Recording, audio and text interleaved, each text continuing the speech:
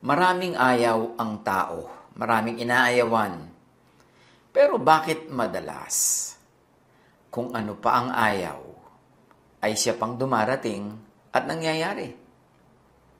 Ang pag-aaral natin ngayon, how to avoid what you do not want in life.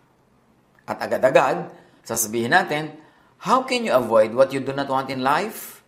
Do not think it. Do not think of it do not think about it. What you think of, imagine, and focus on can happen, will most likely happen. What you think of usually happens. Yung iniisip mo lagi, ginuguni-guni, iniisip-isip, iniima-imagine, sinasabi, ginagawang topic, madalas yun ang natutupad sa ating buhay. At maraming biblical principles that explain that. Pati science may explanation dyan. Proverbs 4.23 Be careful how you think. Your life is shaped by your thoughts. Mag-ingat-ingat daw sa pag-iisip kasi ang ating buhay ay binubuo, ginagawa, inuukit, hinuhugis, nilililok ng ating iniisip, ng ating isip, ng ating pag-iisip. Proverbs 23:7 For as he thinks within himself, so he is. Kung paano mag-isip ang tao, kung anong niloloob, siya yun. O nagiging siya yun. Kaya, bantayan kung anong niloloob, kung anong iniisip. Kasi kung hindi ka pa ganyan, magiging ganyan ka, kaiisip mo sa ganyan. Words, thoughts without words, deeds, actions, and movements without words are also prayers. And as we know, prayers get answered.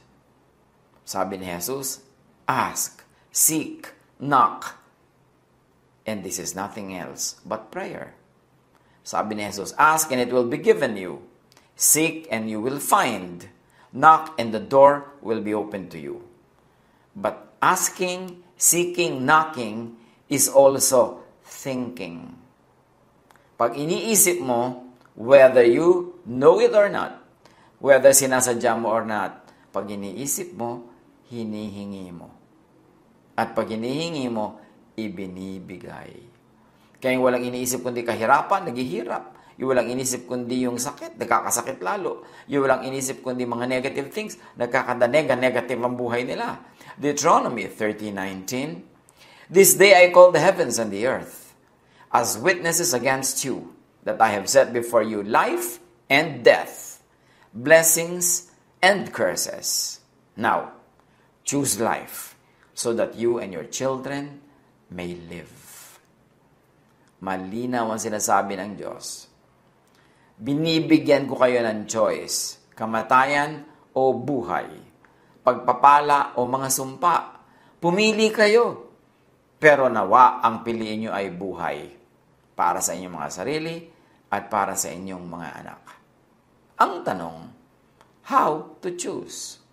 How do we joy? How do we choose? How do we make choices?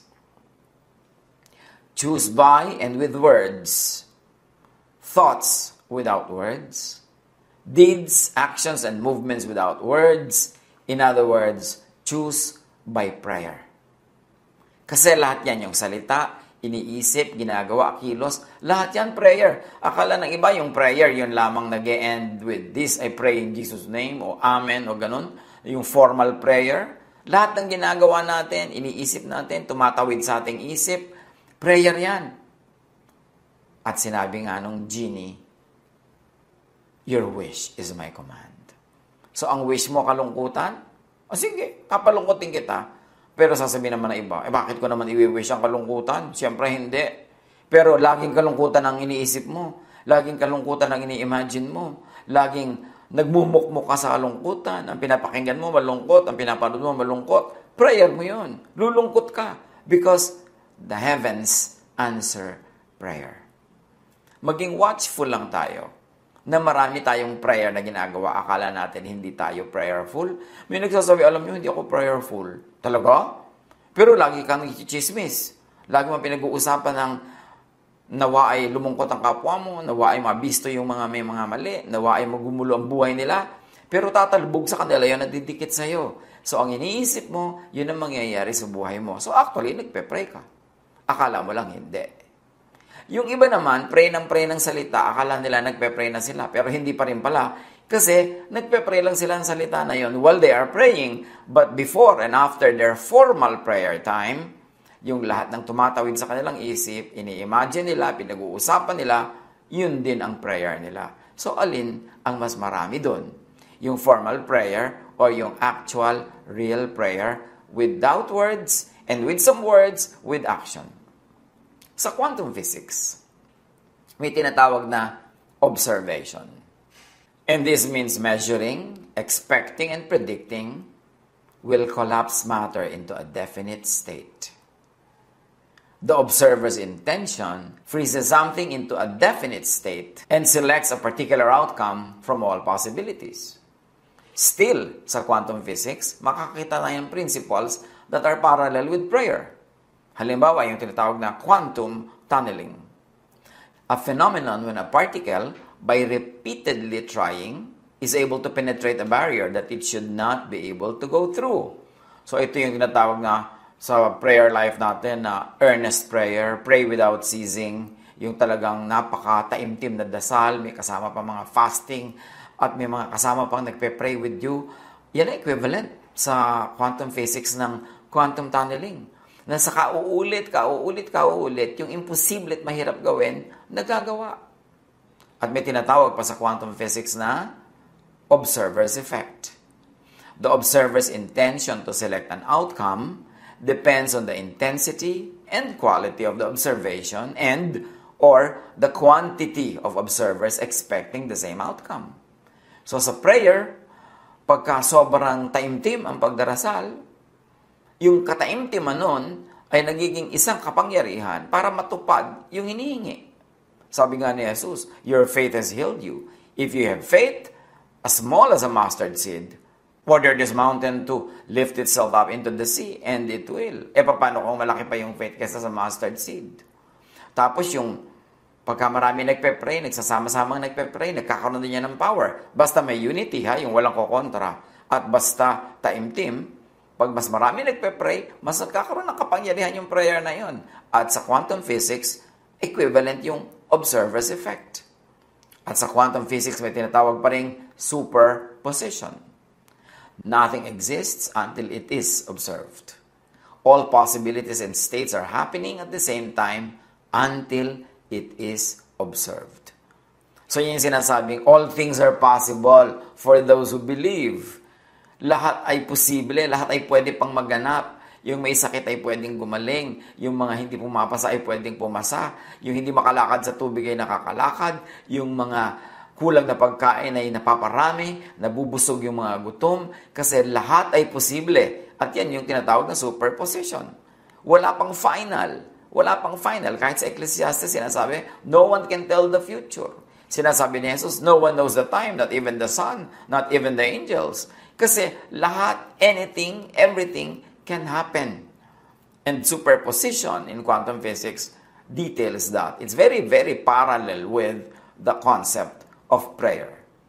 At sa neuroscience naman, imagination and action are integrated and engage the same pathways in the brain. Practicing one influences the other. What you always think of will change the brain's function circuitry, and physical makeup, which then affects the body and its functions.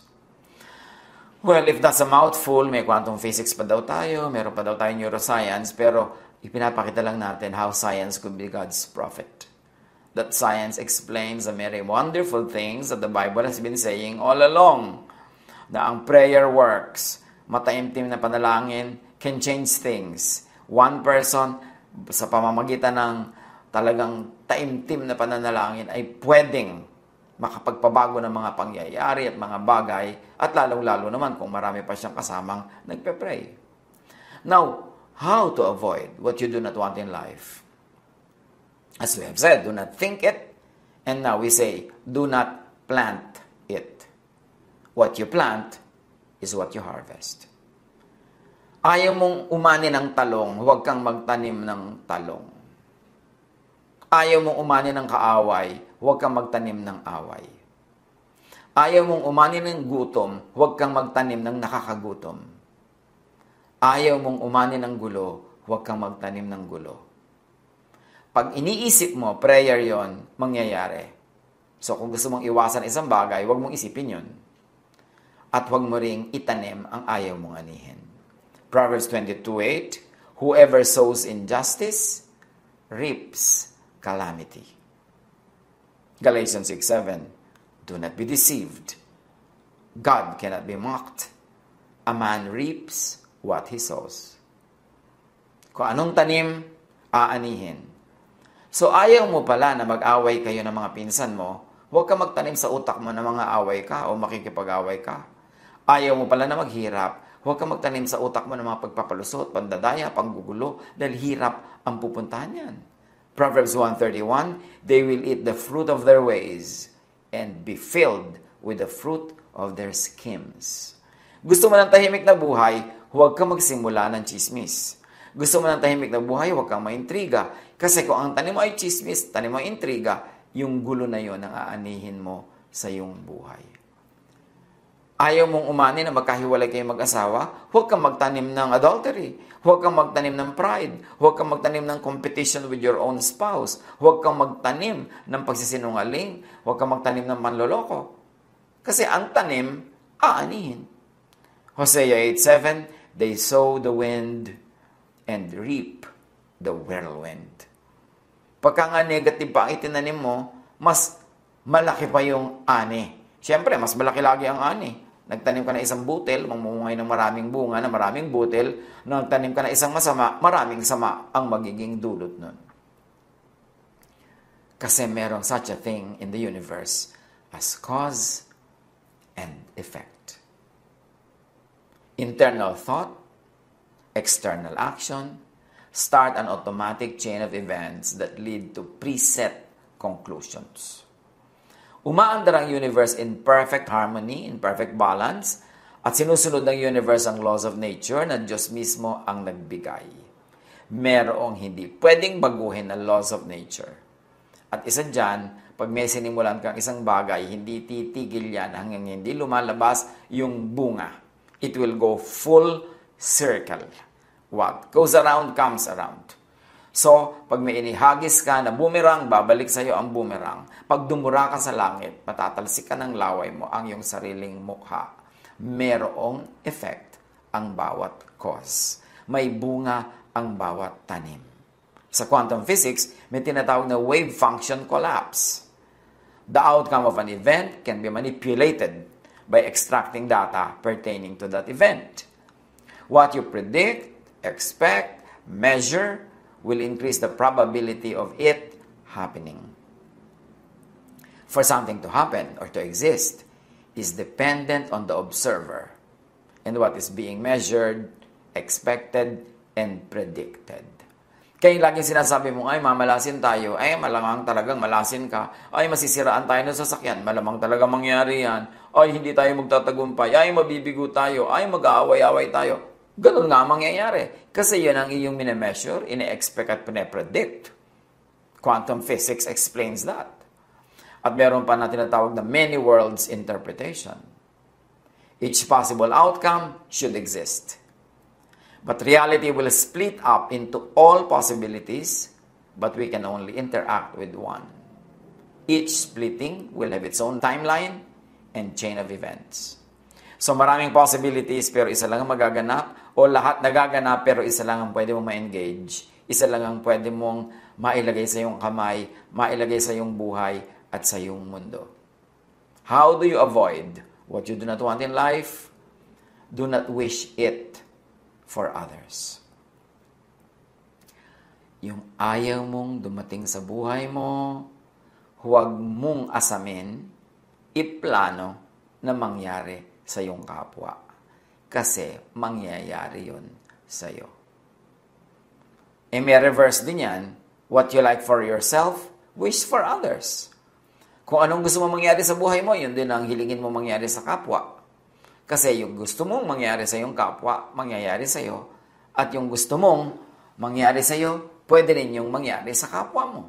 Pero yung ayaw mo mangyari sa iyo, huwag mong i-wish na mangyari sa iba. 2 Corinthians 20:14 At the present time, your plenty will supply what they need, so that in turn their plenty will supply what you need. When this is applied to what we're talking about, simple lang ang sinasabi. Kung ang kariwasaan mo ngayon ay makakatulong sa karukhaan ng iba, darating din ang panahon na ang kariwasaan nila ang tutulong sa iyong karukhaan. Kung paano ka tumutulong sa iba ngayon, ganun din sila tutulong sa iyo sa ibang araw. Kung ano ang gusto mong mangyari sa iba, kung ano ang ginagawa mo sa iba, siyang mangyayari sa iyo. Galatians 6.2 Carry each other's burdens, and in this way, you will fulfill the law of Christ. When you carry each other's burdens, each other will also carry your burden. But when you become a burden to others, especially pag sinasadya mo, maliciously, magkakaroon din ng ibang burden sa iyong buhay. Kasi babalik at babalik sa iyo kung anong pinawawalan mo sa langit, sa iyo rin babalik tulad ng isang boomerang. Romans 12:20 to 21 If your enemy is hungry, feed him. If he is thirsty, give him something to drink. Kasi yun din ang mangyayari sa iyo. Matthew 7:12. So, in everything, do to others what you would have them do to you.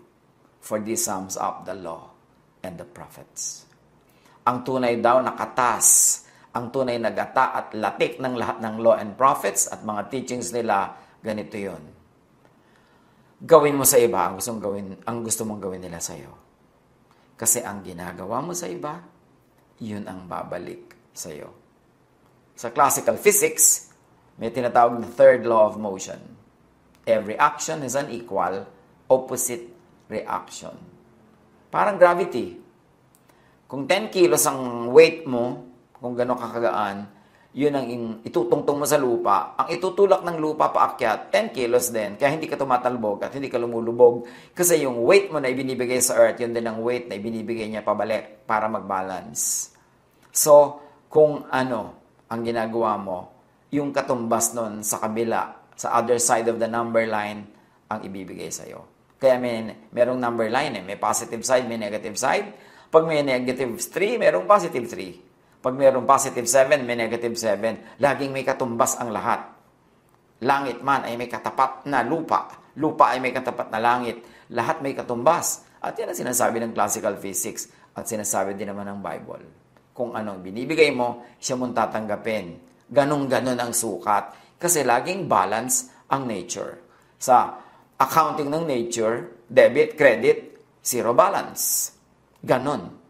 Kaya kung gusto mo na positive ang dumating sa buhay mo, positive ang ibigay mo sa kapwa. Kung gusto mong tumanggap ng isang basket, magbigay ka ng isang basket. Kasi laging merong third law of motion. Sa quantum physics naman, sinasabing every particle has its equivalent and opposite or antiparticle. An antiparticle will have the same exact property, but only opposite in charge.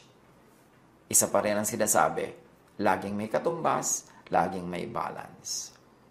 Creation runs in perfect balance. Do not invite, welcome, host thoughts that you do not like for yourself, even if intended for others. Kung ayaw mo magkasakit, huwag mong i-wish na magkasakit ang kapwa. Kung ayaw mong mapahamak, huwag mong gustuhin mapahamak ang kapwa. Pag may iniisip ka at ginugustong mapahamak, napapahamak ka rin. Meanwhile, pag meron kang binabless, nabe-bless ka rin. You give what you give away. And you lose what you selfishly keep. Genesis 4:7 If you do what is right, will you not be accepted? But if you do not do what is right, sin is crouching at your door. It desires to have you, but you must rule over it. So laging may nagtetempt sa atin.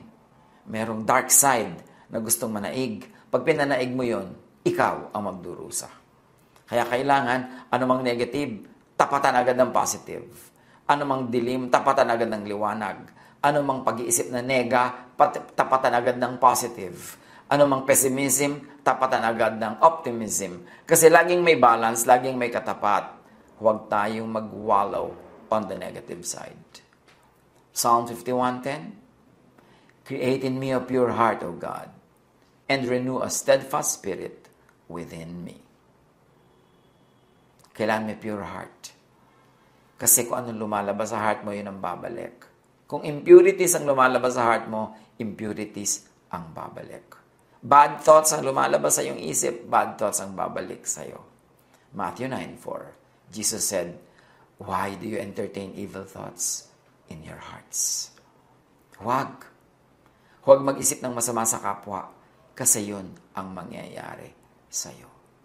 Kaya yung mga bata pa, nung araw, uso yung sinasabi, talbog sa akin, dikit sa iyo. Pag may sinabi kang masama, may minura ka, meron kang ginawa ng hindi mabuti, sasabihin ng bata, talbog sa akin, dikit sa iyo. And there is truth in that folk idea.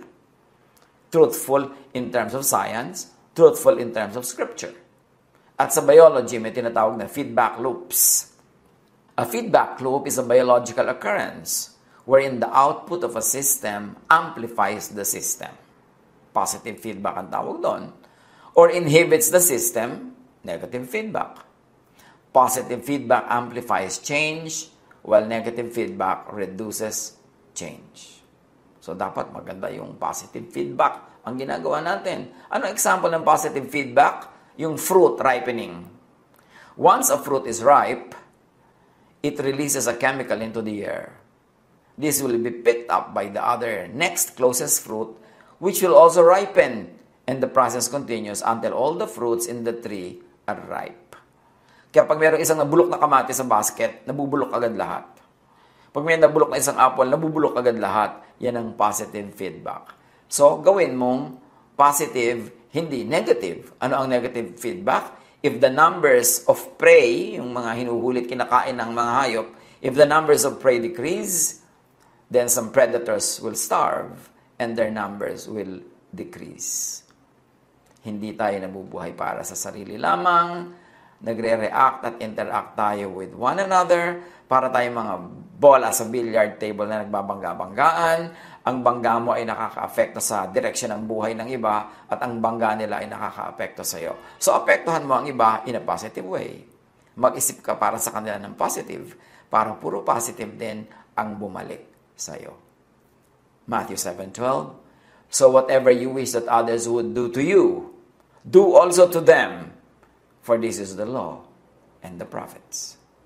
Ang unchangeable law in nature and written in scripture is this. What you give to others is what you will get. How you think about them is how the universe will think about you. So, paano mo iiwasan ang mga bagay na ayaw mo? Huwag mo yun i-wish para sa iba, huwag mong ibigay sa iba. Luke 6.27 But to you are listening, I say, love your enemies and do good to those who hate you. Bakit?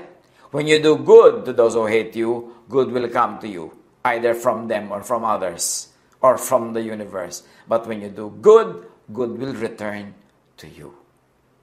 When you do bad, you know the rest. The bad will return to you. So you are the author of your destiny. Ikaw ang gumagawa ng swerte o malas mo sa buhay. Ikaw ang gumagawa ng nega o posse. Kasi yung iniisip mo, yun ang prayer mo, yun ang natutupad at bumabalik sa iyo. Kaya sabi sa Luke 6.38, Give, and it will be given to you. For with the measure you use, it will be measured to you. Kung anong ibinibigay mo, yun ang tatanggapin mo. Kung ano ang panukat mo, yun ang gagawing panukat sa iyo. So bakit ka magsusukat ng kulang para sa iba? E di kulang din ang balik sa iyo. At bakit ka magbibigay ng lason? E di lason ang babalik sa iyo. Philippians 4.8 Whatever is true, noble, right, pure, lovely, admirable. If anything is excellent or praiseworthy, think about such things. In other words, pray about such things and you attract them into your life. You don't want it in your life? Okay. Do not think it. Do not say it. Do not do it. Do not plant it. And do not wish it for others.